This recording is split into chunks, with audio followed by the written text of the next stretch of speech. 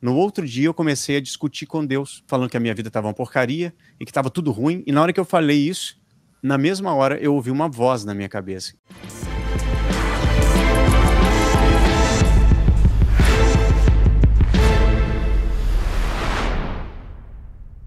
Então, para a gente começar aqui, é, vamos, vamos começar aquilo que a gente tinha combinado, a gente contar um pouco, né, sobre a gente, um antes e depois, né, de conhecer sobre lei da atração, tudo mais. Vamos começar pelo Gamonal, que é a estrela da noite aí. Fala pra gente, fala pra gente como é que é o seu antes e depois aí desse conhecimento que você adquiriu, Gamonal.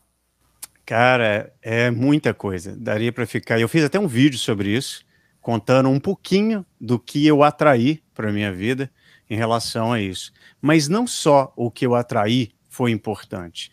Uma das coisas que eu acho que mais faz diferença na nossa vida é a expansão da consciência que acontece quando você descobre isso, quando você descobre que é o criador da tua própria realidade. Cara, isso mudou tudo. Eu tinha uma vida, não tenho vergonha nenhuma de falar, uma vida muito sofrida, muito, não que ela fosse, mas eu achava que era. Isso, isso tem que ficar muito claro, que não importa o que acontece com você, o que importa é como você vê o que acontece com você. E isso é que faz toda a diferença no ponto de vista que nós enxergamos a vida. E eu enxergava a vida de uma forma pessimista, com raiva, revoltado da vida, porque eu me colocava como vítima. Eu me colocava como coitadinho. Então eu, eu achava que os políticos roubavam, por isso eu não tinha dinheiro, que as pessoas, é, que o Brasil não tinha cultura, por isso eu não gostava da minha música e tal.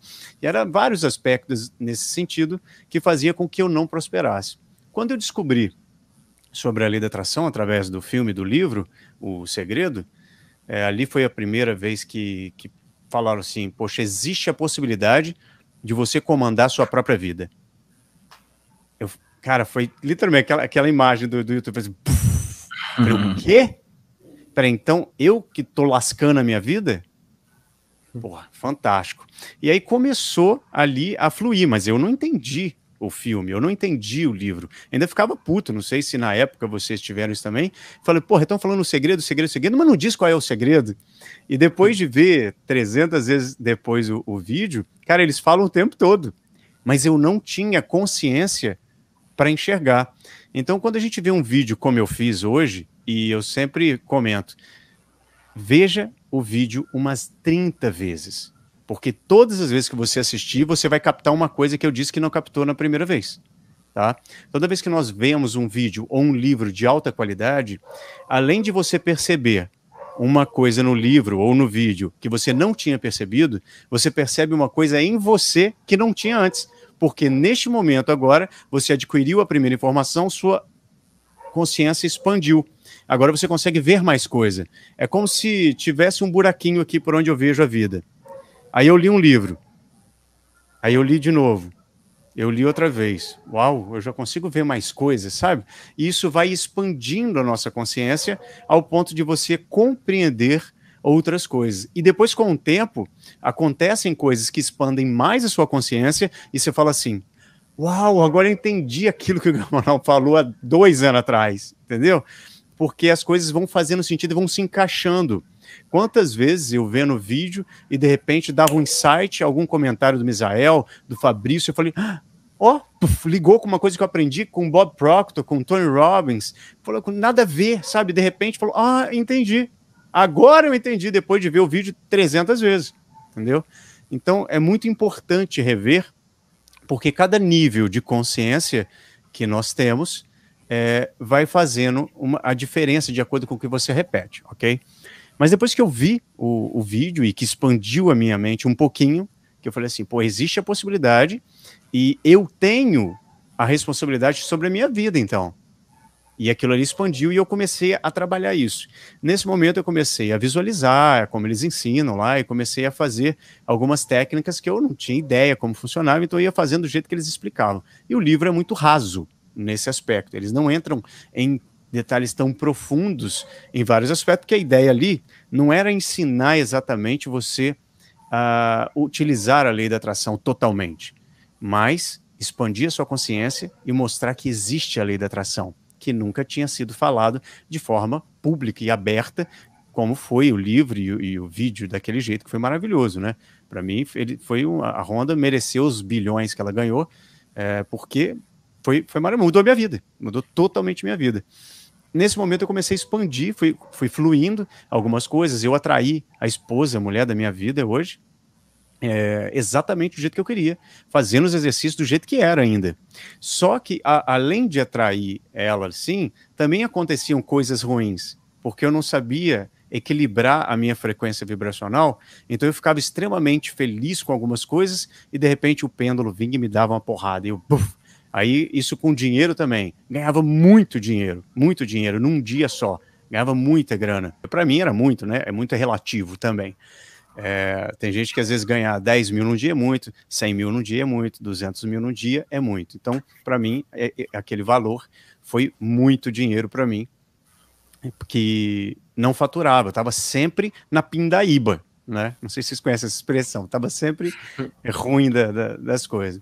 E eu comecei a atrair situações e, e, coisas que foram trazendo pessoas, que foram trazendo situações, circunstâncias, que foram levando a coisas, mas estava sempre voltando.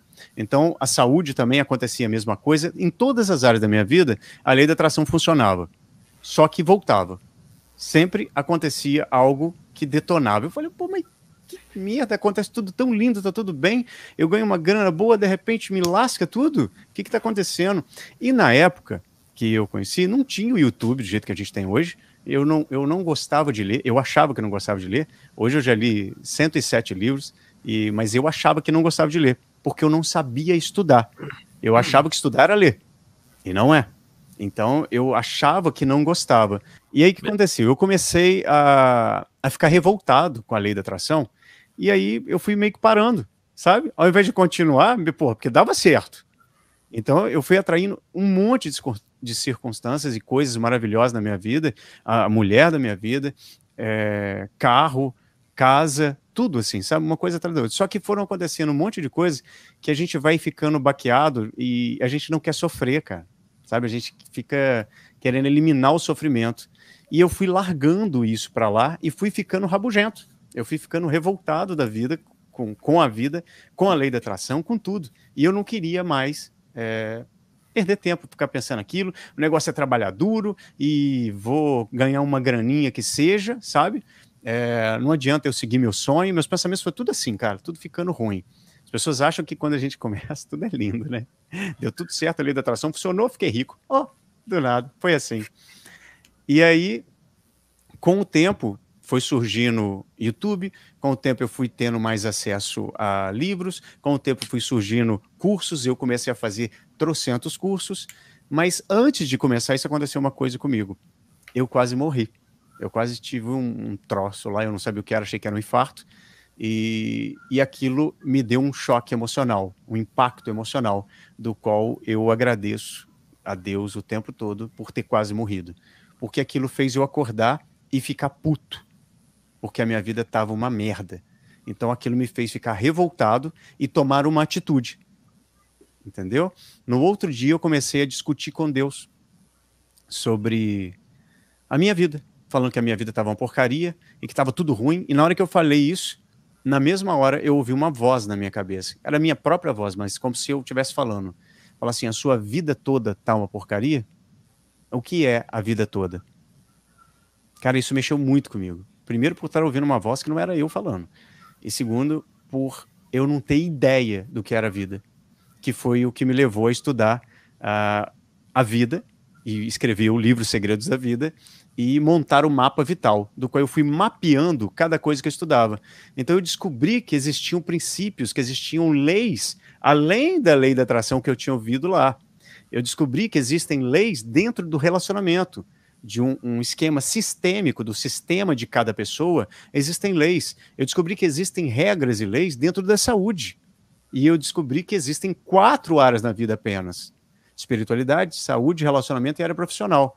Cara, e aquilo foi expandindo a minha cabeça e foi interligando. Quando eu fui fazendo um mapa mental, né, que eu chamo de mapa vital, que é o mapa da vida, eu fui mapeando absolutamente tudo ali. Quando eu fui mapeando isso, eu fui compreendendo é, como funcionava e descobri que tudo começava através dos princípios.